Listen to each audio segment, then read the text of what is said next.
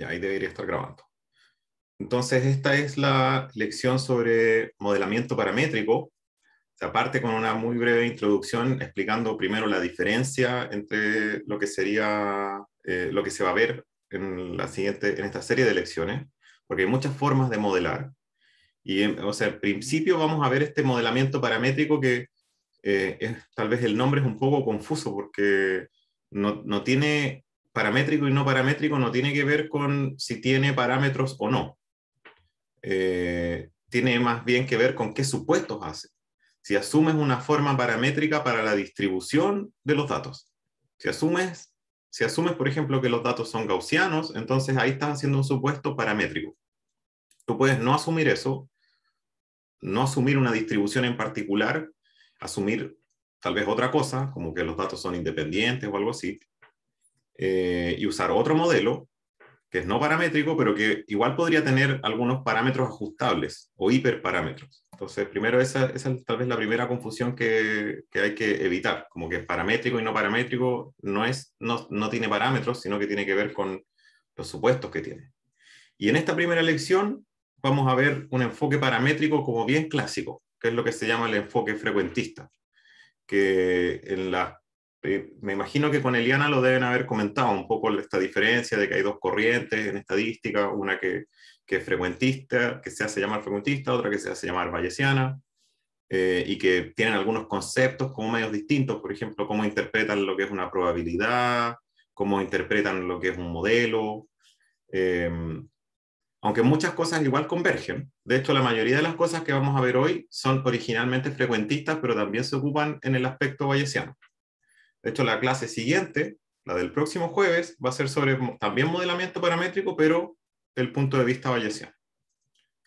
Em, entonces, bueno, la, partir, como esta es la primera de esta, de esta serie de modelamiento, parte bastante eh, general, como primero qué es inferencia estadística, que es algo, un tópico que va, que está a lo largo de todo el curso, que se refiere finalmente a cómo extraer alguna información relevante, alguna decisión, eh, conclusión, etcétera, a partir de nuestros datos, usando alguna premisa, que en este caso son los modelos. Entonces, por eso es que sale la importancia de lo que es un modelo. Aquí está explicado en la 6.1.2 la diferencia entre paramétrico y no paramétrico, que es más o menos lo que estaba diciendo recién. Eh, paramétrico y no paramétrico no es lo mismo que tiene o no tiene parámetros. O sea, ambos pueden tener parámetros, pero paramétrico lo que tiene es un supuesto más fuerte sobre cómo se distribuyen los datos. Em, y nosotros nos vamos a concentrar primeramente en este, en el paramétrico. Y luego en el paramétrico viene esta división de enfoque entre frecuentista y bayesiano, que define un poco cómo modelamos los datos. Eh, y aquí está como el resumen de probablemente cosas que ya vieron con Eliana, como cómo ve el frecuentista y el bayesiano la definición de probabilidad y cómo interpreta en este caso el parámetro de un modelo la probabilidad del, frecuentista existe porque yo lanzo la moneda muchas veces. Por eso es que ese frecuentismo viene de frecuencia, viene de repetición. Entonces la incertidumbre viene porque yo repito las cosas y algunas veces me sale cara, otras veces me sale cruz y así yo calculo probabilidad. Así, dale Sebastián. Profe, y lo paramétrico sería todo este tipo de distribuciones que hemos visto, ¿cierto? La exponencial, la gaussiana. Exacto. Todo eso se incluye. Todo eso es paramétrico. Ah, ya, ok. Sí. Lo no paramétrico es como trabajar con tus datos sin asumir esas distribuciones teóricas que ya vieron. Que hay, hay otras cosas que se pueden asumir que no necesariamente son una distribución. Tiene mucho que ver con, con, eh, con el ordenamiento de los datos simplemente. Y eso lo vamos a ver más en detalle porque viene, eh, no sé si en tres o cuatro semanas, creo que tres, vamos a tener una clase que es sobre inferencia no paramétrica, como cómo hacer test no paramétricos y ahí vamos a ver las herramientas que se ocupan, que justamente como que se alejan un poco de las distribuciones, porque la idea es no asumir una distribución, pero puedes asumir cosas como por ejemplo un cierto ordenamiento de los datos. Con el ordenamiento tú puedes calcular estadísticos como la mediana, el rango, y tú puedes, cuando comparas esas cosas no estás asumiendo nada finalmente, ¿te fijas? No estás asumiendo que hay una distribución exponencial, Poisson, qué sé yo.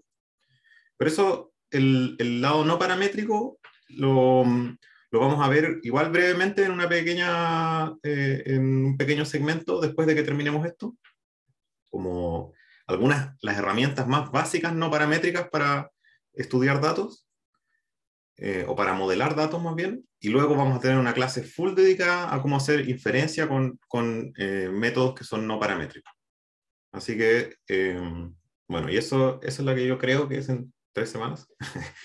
tendría que ver el cronograma para decirlo más preciso. Entonces, ya, creo que estaba aquí explicando nomás la definición de probabilidad, frecuentismo, repetición, lanzar la moneda muchas veces. En cambio, el bayesiano, él cree que todo es incierto. Todo tiene un grado de incertidumbre. No tienes que lanzar la moneda dos veces para, para, para que tenga una incertidumbre. Como que tiene una incertidumbre intrínseca. Y eso significa que cuando tenemos un modelo, hay una diferencia grande, porque el frecuentista dice que el modelo tiene un parámetro y ese parámetro es un número. En cambio, el bayesiano dice, no, ese parámetro es una distribución. Tiene incertidumbre y esa incertidumbre se propaga a los datos. Entonces hay una manera como media distinta de tratar el problema. Como dije, la próxima semana es dedicada a, esto, a cómo tomar decisiones cuando eh, los parámetros ahora tienen una cierta incertidumbre. Em, entonces, ¿cómo es el approach frecuentista? que igual, como dije antes y como ya adelanté, es como la base. Lo, lo bayesiano también toma parte de esto.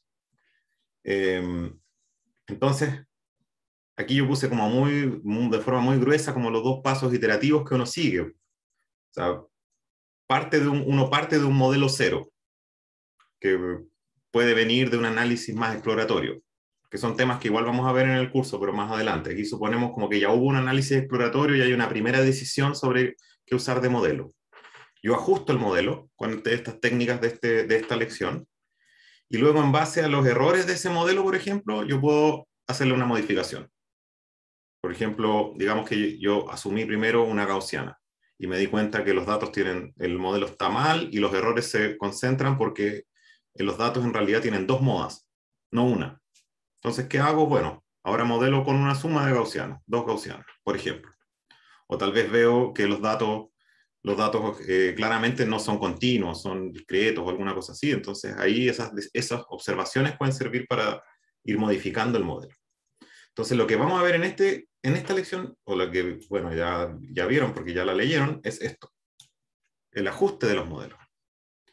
Em, y el ajuste, estamos viendo como el, el, la metodología más usada para hacer eso, que es la de máxima verosimilitud. Y para eso, por supuesto, hay que entender lo que es la verosimilitud, que aquí, bueno, como ya vieron, eh, ya tuvieron estas clases de fundamentos con Eliana, ya entienden lo que es una variable aleatoria, entienden que esta variable puede tener unas realizaciones. Entonces yo hago algunos, empiezo haciendo algunos supuestos, por ejemplo, que puedo escribir la distribución conjunta de estas observaciones de esta forma, porque estoy asumiendo que son independientes, todas las observaciones que estoy haciendo son independientes entre sí y vienen de la misma distribución. Entonces lo puedo expresar como una multiplicatoria. Y así es como yo escribo la verosimilitud. Ya la verosimilitud entonces no es más que, que tomar la distribución conjunta de los datos, ¿ya? dado un f, que es una cierta distribución que aún no defino, pero que tiene un set de parámetros teta. Entonces yo lo que voy a querer es, o sea, yo lo que estoy escribiendo es una función de teta, porque yo quiero modificar, encontrar el mejor teta. Eso es ajustar el modelo finalmente. Eh, y el supuesto inicial es este. Todavía no he dicho qué distribución es f, igual lo tenemos que hacer en algún minuto, pero lo primero es solamente asumir que hay independencia. Si esto supuesto de independencia no se cumple, si no podemos asumir que los datos son idénticamente distribuidos, entonces tenemos que hacer otra cosa. Por ejemplo, separar los datos hasta que estén en conjuntos idénticamente distribuidos eh, o model, si son, no son independientes, entonces podría modelarlo como una cadena. ¿Ustedes tuvieron conmigo el curso de simulación? ¿O todavía no? ¿O lo, tienen, o es este lo están haciendo este semestre? Sí, yo lo estoy dando. Vale. Eh, ya, yo no lo tengo en la malla nueva.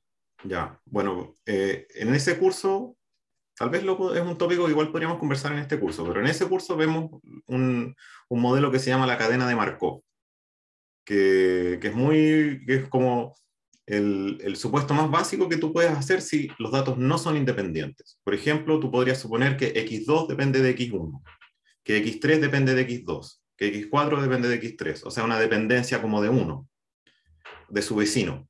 Eso es una cadena de Markov. Entonces ahí este modelo ya no sería como está acá. Tendríamos dependencia. La condicional no estaría teta, estaría otro x. Y ahí ya tendríamos, tendríamos que escribir otra cosa.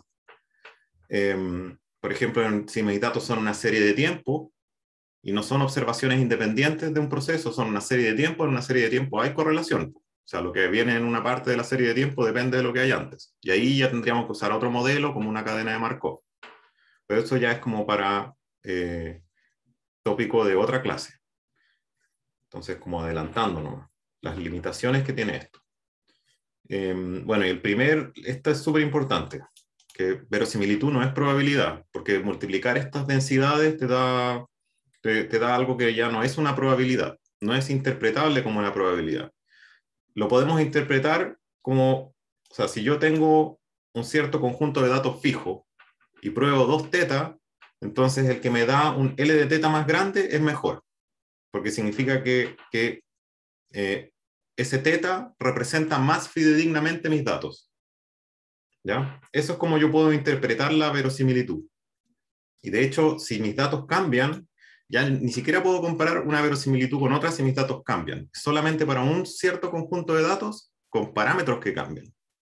Entonces los X aquí están fijos y los tetas son los que, los que eh, van a irse modificando o entrenando, como lo hemos visto en Machine Learning. Entonces, la estimación de máxima verosimilitud es básicamente, tenemos ahora una métrica, y como su nombre lo dice, vamos a buscarle el máximo. Y aquí, en esta, en esta lección, estoy, muestro como la forma más simple de hacer eso, que es, si yo quiero encontrar el máximo de una función continua y derivable, bueno, la derivo igual a cero. Eso es básicamente el, eh, como, eh, lo más básico que uno puede hacer. Si no se puede, si, si no tiene solución analítica, entonces se puede usar, por ejemplo, gradiente descendente.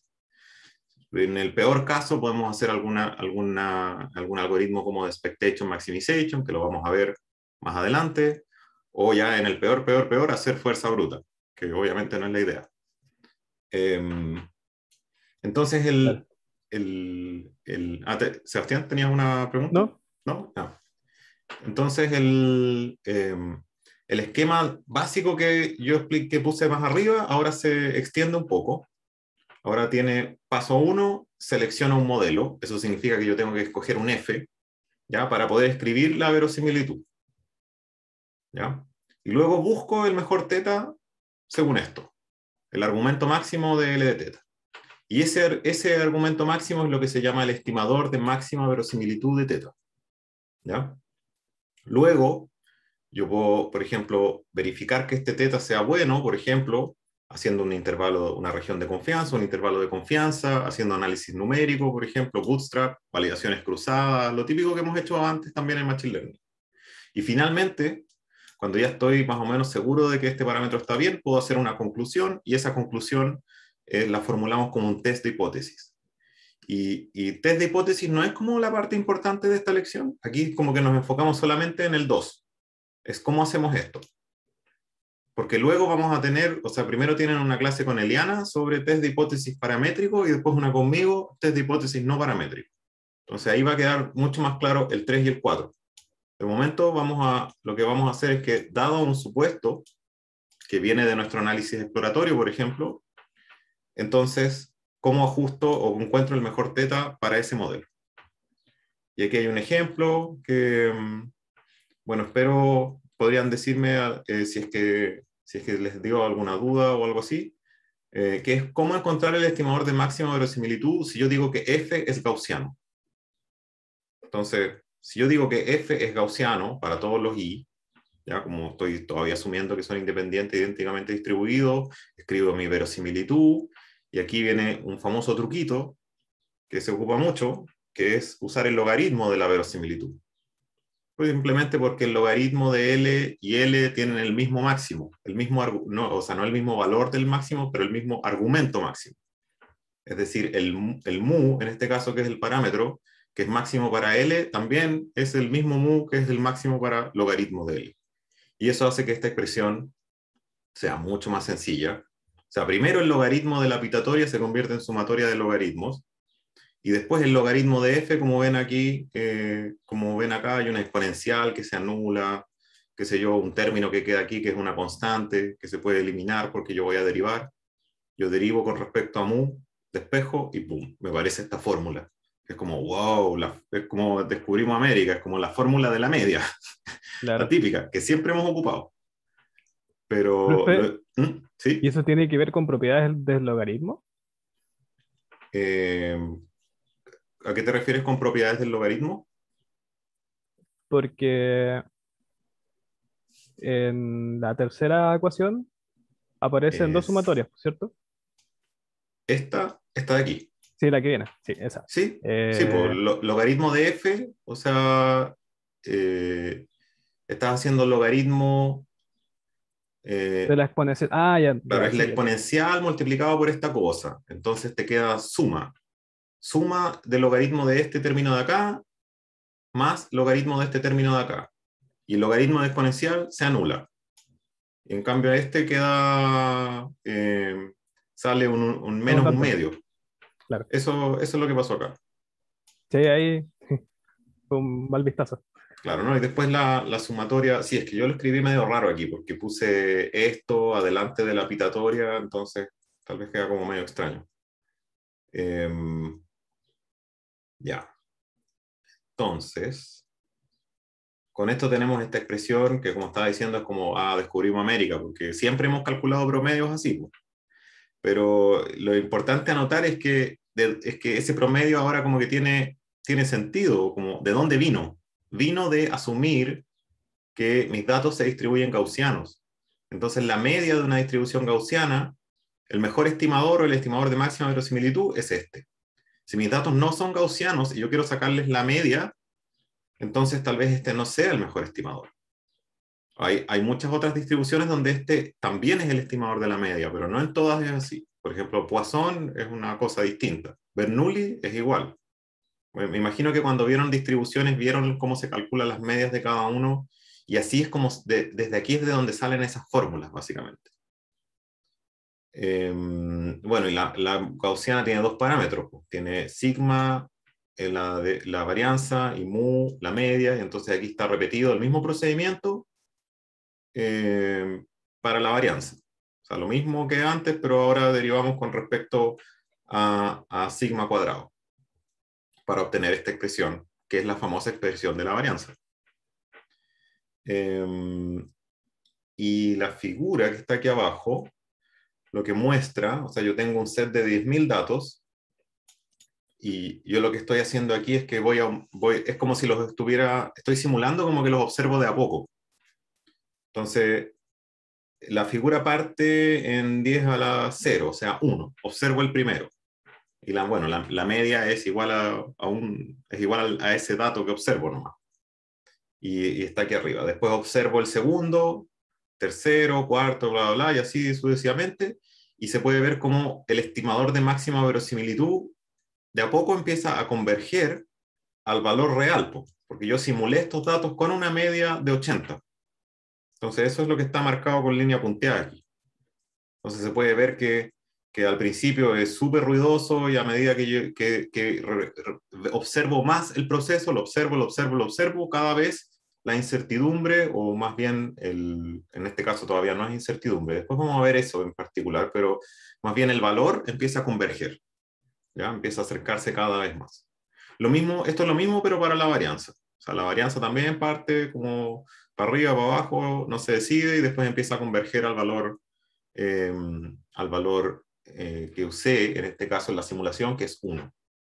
¿ya? Eso es lo que se estaba mostrando aquí la evolución de los estimadores de máxima verosimilitud.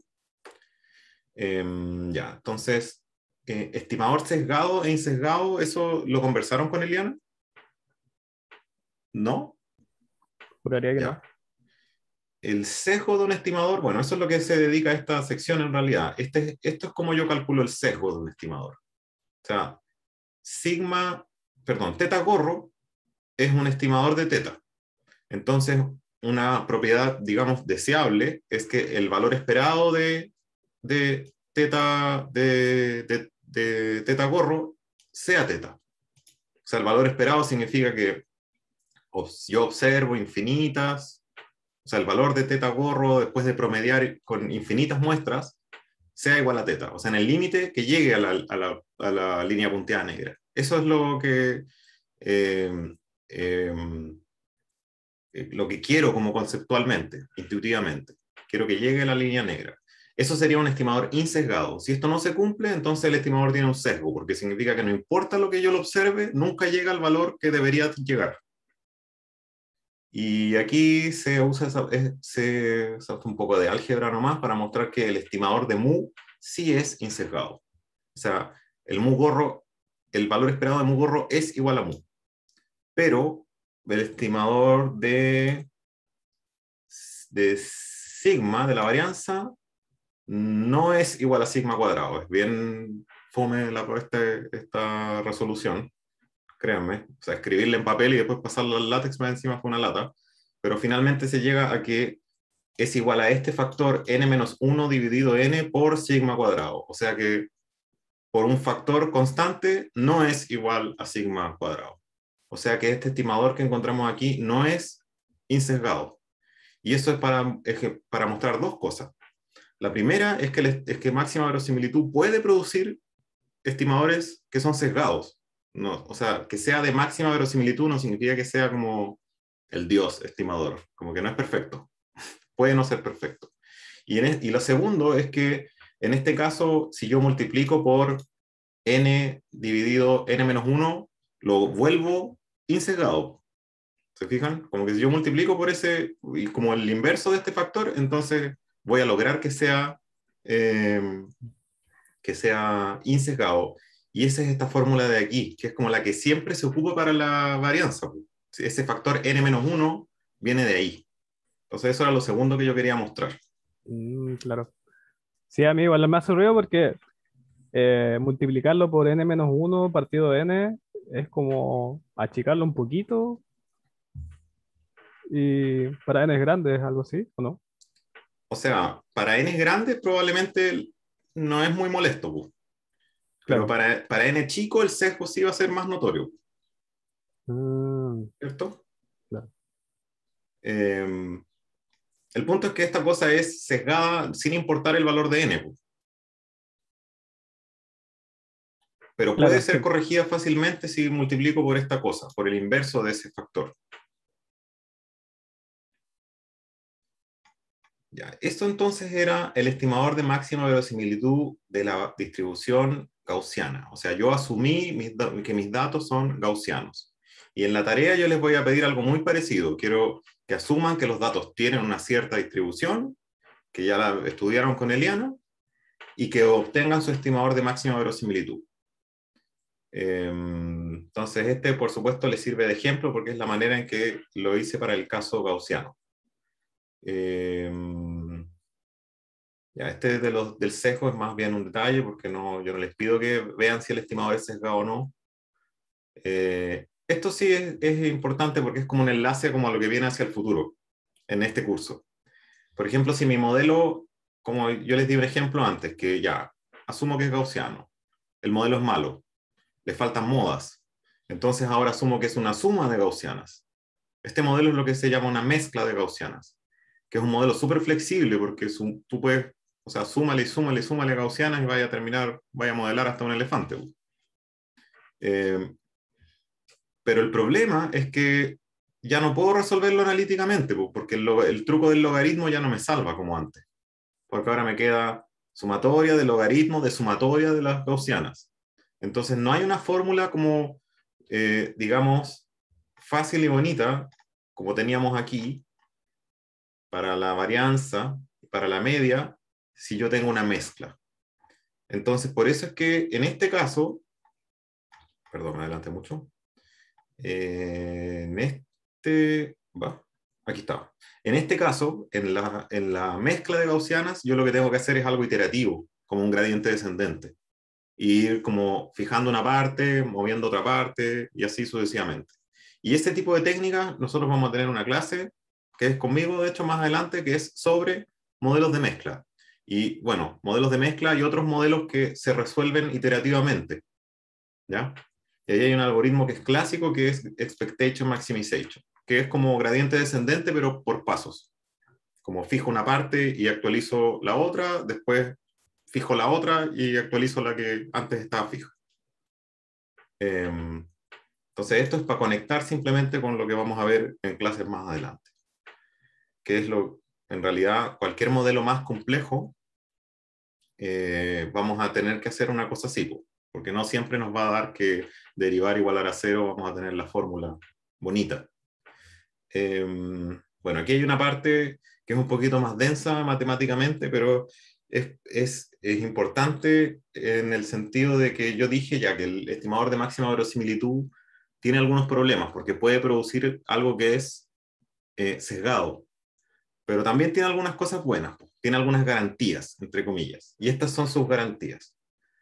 Eh, por ejemplo, esta la vamos a revisar ahora en detalle, que es asintóticamente normal. Significa que a medida que n, que n va a infinito, la distribución de este teta gorro es una, es una gaussiana.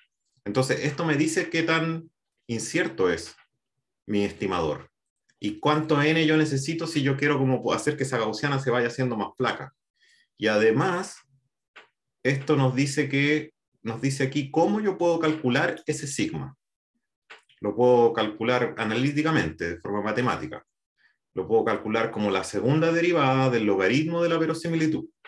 El inverso de eso, el inverso de, el recíproco del, del negativo de eso, que es una fórmula súper extraña, lo admito, pero eh, es conocida, es como una varianza teórica que se llama la cota de Kramer-Rao, y, la noción, se fijan, de, esto es que si yo ya sé que esto en el límite es una normal, entonces yo si quiero calcular el ancho de la normal, eh, lo que hago es calcular su segunda derivada.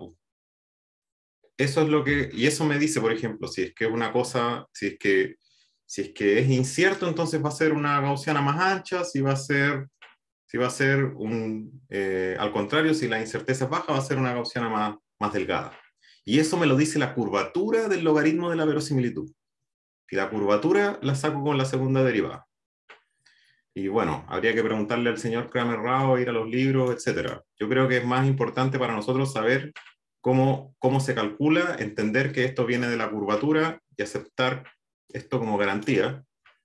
Eh, después, si quieren, yo les puedo pasar algunos libros de, cómo, de dónde están los proofs. Yo traté como de no poner tanto, tantas eh, demostraciones de las cosas, porque siento que lo vuelven un poco árido. Pero si les interesa, los, los puedo, después se los puedo pasar. Em, y, ya bueno, eso fue harta teoría. ¿Y cómo se pone en práctica? Aquí está cómo se calcula la cota de Kramer-Rao para mu, para el mu de la distribución gaussiana. Entonces necesitamos el logaritmo de L, necesitamos la segunda derivada del logaritmo de L, que está aquí calculada, después le aplico, la multiplico por menos, por menos 1, y le, le doy vuelta, o sea, el recíproco, y esta es lo que me da. Entonces, la, la, el ancho de esta distribución normal para el parámetro mu gorro tiene una varianza sigma cuadrado dividido n. O sea que mientras más datos yo observo, más chica se hace esa varianza. Eso es lo que me está diciendo. Y eso es lo que muestra esta figura. Esta figura es la misma, es muy similar a la que yo mostré antes, unos datos simulados sintéticamente, en este caso con un mu de 2.23 y una desviación estándar de 1.11. Yo voy calculando el estimador y voy calculando también su varianza la varianza de mu. Esta, ojo, no es la varianza de los datos, es la varianza de mu. igual en este caso particular depende de la varianza de los datos, pero no siempre va a ser así. Entonces yo la varianza la estoy dibujando eh, como esta, esta región celeste. Y así, aquí se puede ver cómo a medida que los datos aumentan, el valor converge, pero la varianza también va convergiendo porque se va haciendo cada vez más chica. Entonces aquí, en realidad, si tengo pocos datos, yo tengo un tremendo rango de esta cosa. No confío mucho en su valor. Pero a medida que avanzo, cada vez confío más. cada vez el rango se vuelve más pequeño. Para eso me sirve esto, para saber eh, en qué rangos, cuánto n yo necesito para poder confiar en el valor. Em, entonces, con eso sabemos cómo calcular el estimador de máxima verosimilitud, cómo estimar, cómo calcular también su incertidumbre basado en sus propiedades. Y aquí dejo unas pruebas, unos test estadísticos, me estoy como adelantando, porque en realidad hay una clase de que después va a ser de test de hipótesis. Y aquí me estoy adelantando un poco para mostrarles dos test de hipótesis. Eh, uno que es para mostrar, eh, para preguntar si es que teta es igual a teta 0, a un valor teta 0 cualquiera, o no es igual a ese valor. Entonces, tal vez yo tengo una hipótesis nula de cuánto debería ser teta 0, y yo quiero testear eso, y eso se hace con este, con este estadístico, que tiene dependencia de la curvatura, como se puede ver acá. Em, y aquí hay otro, otro test, estos son test bien conocidos, test de Wald, y el cociente de, de log verosimilitudes que sirve para ver eh, finalmente para, para decidir como con una cierta confianza si un teta es más apropiado que otro, si teta 0 es más apropiado que teta 1. Em, eso, pero como dije, test de hipótesis, esto es como un, un, spoiler porque en realidad va a haber una clase que es solo de esto. Así que no se asusten si, si no se acuerdan muy bien cómo se hacen los test de hipótesis. Em, sí, estaba preocupado. no, tranquilo. los test de hipótesis yo los encuentro un espanto, te voy a ser sincero. Siempre me enredo con los p-value y con cómo hacer las conclusiones. De hecho, em, hay harta crítica. Hay harta crítica al p-value hoy en día porque mm. eh, han habido casos, por ejemplo, de personas que hacen sus experimentos de una forma y terminan manipulando el p-value para que digan lo que ellos quieren. Como sentáis así en la ah. silla al pevalio y le ponéis la luz encima, así lo obligáis a que te diga. claro.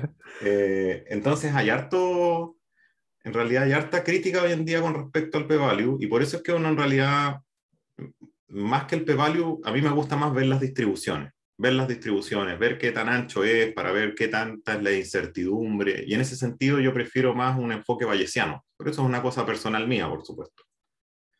Eh, o sea, profe, ¿se podría decir que lo de la hipótesis es un enfoque frecuentista?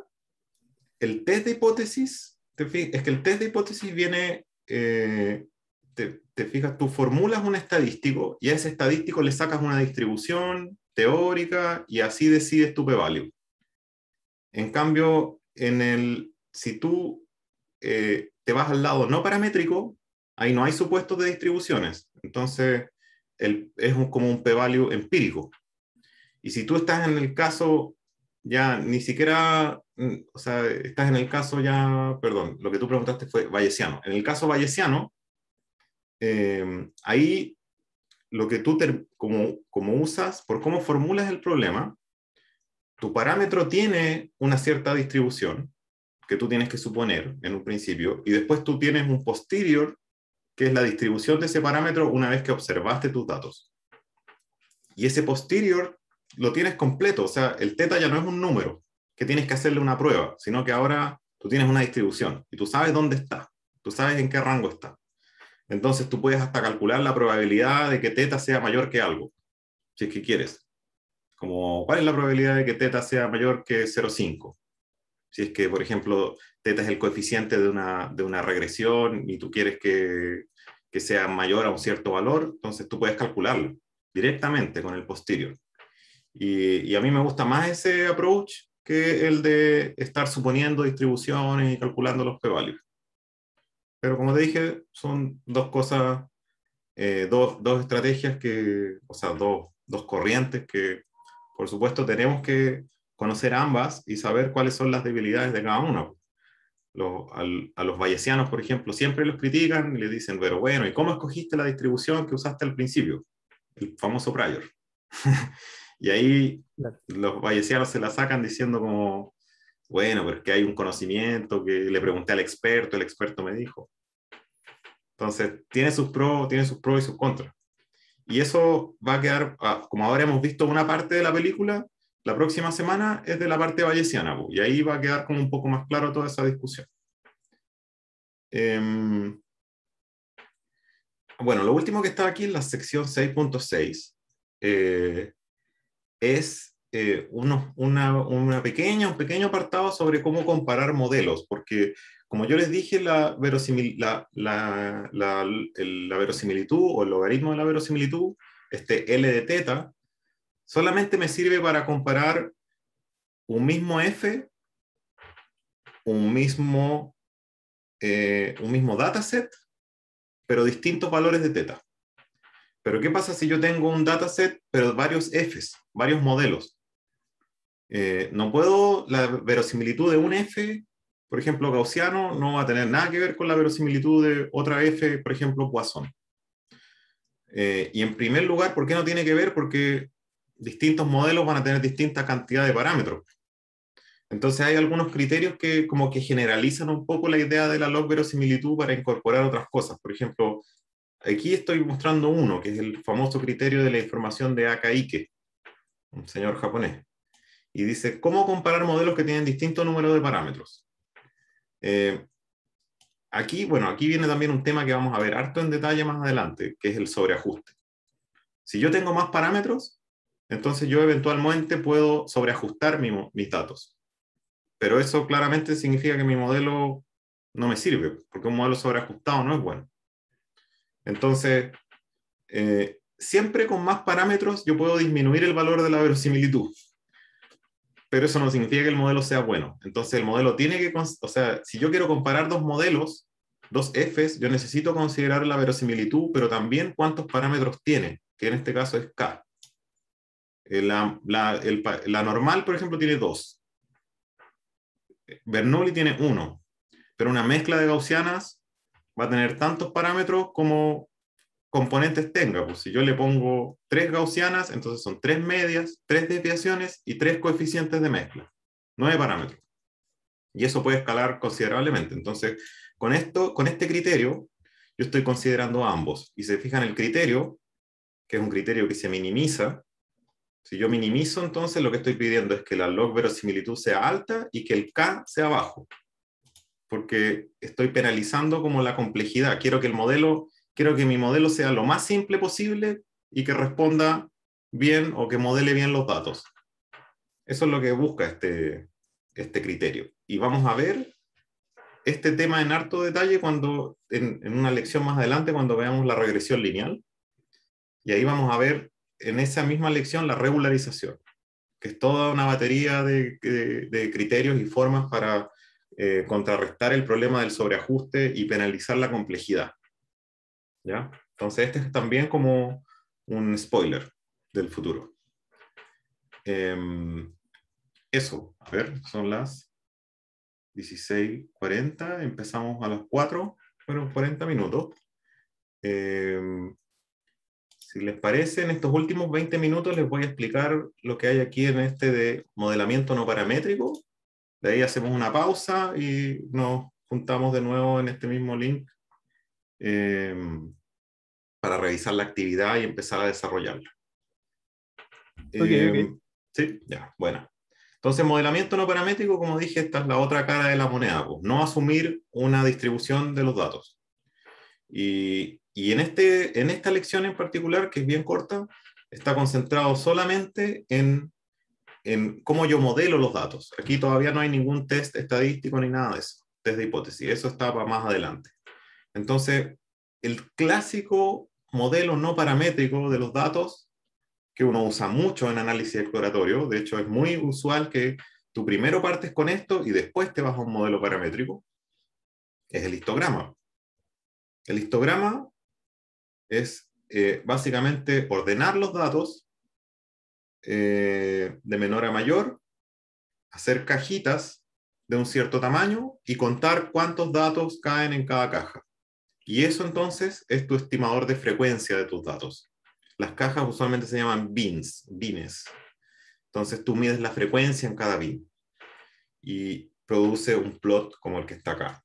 Entonces, aquí yo estoy mostrando un histograma, un ejemplo de histograma y el slider cambia la cantidad de bines que se están ocupando para generar el histograma.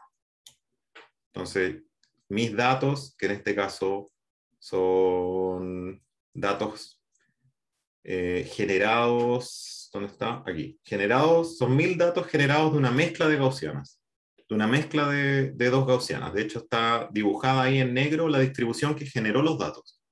Estos no son los datos, pues son, es la distribución que generó los datos y el histograma de los datos. Los datos están, son mil valores que están esparcidos en este rango menos 10, 10. Entonces yo lo que hago es ver cuál es el mínimo, cuál es el máximo, y dependiendo de cuántas cajas yo quiero, hago cortes y cuento. Eso es lo que hace un histograma. Bastante sencillo. Entonces el histograma, yo en este caso estoy enseñando aquí a modo tutorial cómo sacar un histograma con NumPy. Entonces NumPy tiene una función, histogram, que tú le das tu arreglo de datos, le dices cuántos bines, puedes especificar el rango, por ejemplo. Si tú sabes que tienes un rango, eh, por ejemplo, tienes algunos datos que son outliers, que están muy escapados del rango, los puedes recortar dando aquí una tupla de valor mínimo o valor máximo. Y también puedes especificar si quieres retornar densidad o frecuencia. Frecuencia es la cantidad de datos que caen en una caja. Densidad es la cantidad de datos dividido el total. Esa es la única diferencia. Entonces, si yo quiero comparar con una distribución teórica como esta, es mejor densidad, para que estén en la misma escala. Entonces, aquí yo estoy mostrando, eh, calculé los histogramas para 1, 2, 5, 10, 20, hasta 100, todos con el mismo rango, todos con densidad eh, igual true, y bueno, es la misma muestra. Entonces, ¿qué podemos ver aquí? O sea, se fijan, el, el, histograma es un método no paramétrico, pero igual tiene, entre comillas, un parámetro, pues, que es el número de bines. Entonces, esto resalta, para primero resaltar que, de, de, nuevo, que no paramétrico no significa que no tenga parámetros, igual tiene algunas cosas ajustables, como el rango y el número de bines.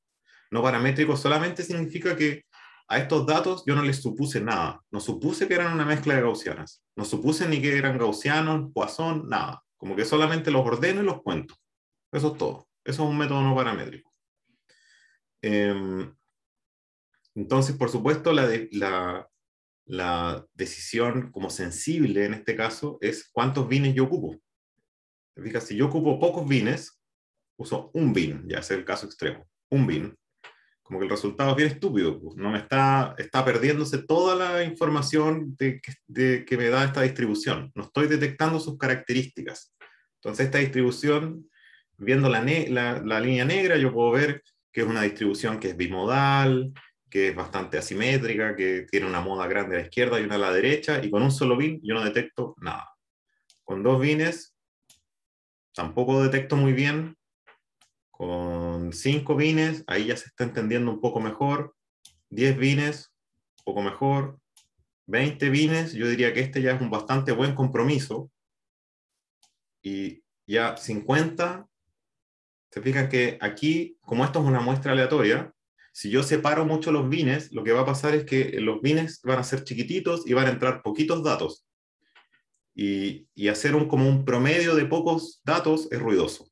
Eso es exactamente lo que está gesticulando ahí Sebastián. Eso, así, ah, para arriba para abajo. Y si ya pongo 100, bueno, mucho peor. Entonces, muchos bines introduce ruido. Pocos bines modela mal la distribución, me pierdo de sus características. Entonces hay que buscar un valor de los bines que sea eh, lo suficientemente fino, pero que también produzca un resultado lo suficientemente suave. Y esto es un proceso más bien visual en este caso. Eh, igual hay algunos criterios que se los vamos a ver enseguida, de cómo seleccionar el número de bines, eh, que de hecho está aquí. aquí está. Entonces hay algunos criterios, algunas reglas que la gente ha diseñado para que tú no tengas que decidir, como los bines a ojo. Eh, igual, en, principalmente cuando estás usando histograma es porque estás visualizando las distribuciones. Entonces, yo no encuentro nada de malo probar algunos bines como lo estoy haciendo aquí y mirarlo. Eh, pero estos sí, sí que sí proveen un buen punto de partida. Entonces hay unos señores aquí, de apellido Scott y otro de apellido Silverman, que inventaron algunas reglas y aquí, por ejemplo, esta es la regla de Silverman para escoger eh, no la cantidad de bines, sino el ancho de un bin. el ancho de un bin es inversamente proporcional a la cantidad de datos y además es directamente proporcional a la varianza. El sigma aquí es la desviación estándar. Y bueno, y esto de acá es el rango intercuartil, que es otra manera de, de, digamos, em, de calcular la dispersión de una distribución. Ustedes vieron con Eliana, o sea, bueno, desviación estándar seguro, pero ¿vieron estadísticos de orden como la mediana, el rango, el rango intercuartil? Mm, si no recuerdo mal, en, el, en las sesiones anteriores al final hay como una sección de valores empíricos. Ya. Bueno, estos caen en esa categoría. Igual nosotros los vamos a repasar en la clase de inferencia, de inferencia no paramétrica. Yo voy a hacer un repaso de los estadísticos de orden, que se llaman así porque tú los obtienes de ordenar los datos. Los ordenas, buscas el que está en la mitad, ya, esa es la mediana. Buscas el que está en el en el, en el 75% y el que está en el 25%, los restas y eso te da la dispersión. Entonces, esto es como una manera eh, basada en ordenamiento de calcular la dispersión. Y Silverman dice que mientras más dispersos estén los datos, más anchos deben ser los bines para tomar en cuenta el ruido. Y eh, mientras menos datos tengas, más anchos tienen que ser los bines también para que los bins no sean ruidosos. Fija, mientras más datos tú tienes, entonces más puedes achicar el bin porque eh, los promedios te van a quedar mejor porque caen más datos en cada bin. Esa es la regla, lo que busca como intuitivamente de esta regla. Y estos factores raros, un quinto, 0,9, bla, bla, bla, son cosas que encontró, que, encontró Silverman haciendo unos supuestos, esos. Él supuso, por ejemplo, que la distribución es gaussiana y llegó al, al H óptimo para una distribución gaussiana. Entonces, por eso es que yo digo que esto, este H, esta regla, regla del dedo, como le dicen algunos, como que hay que tomársela con un granito de sal, porque igual tiene un supuesto por debajo. O sea, el histograma no tiene, pero este H sí tiene uno.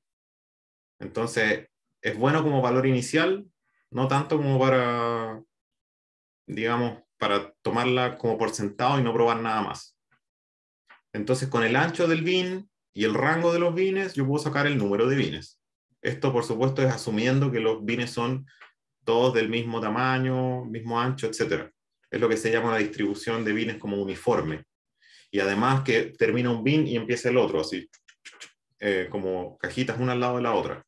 Hay otros métodos que tienen bines traslapados y otros métodos que tienen bines de distinto ancho.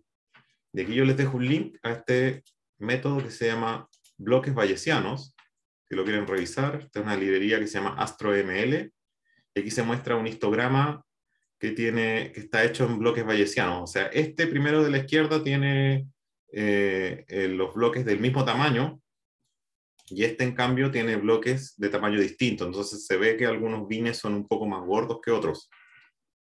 Em, ese era el método de los bloques bayesianos. Pero en general un histograma clásico nos sirve la mayoría de las veces. Solamente para que sepan que en algunos casos pudiera ser mejor, por ejemplo, si tengo unas densidades muy variables, algunas partes densas y otras no tan densas, entonces tal vez es mejor considerar bines como de tamaño variable. Bines grandes para la parte poco densa, bines detallados para la parte densa.